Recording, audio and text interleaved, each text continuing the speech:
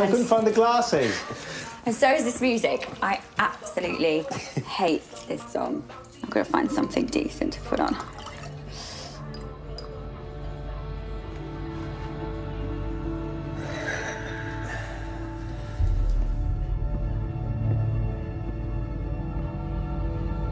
Thanks. Cheers.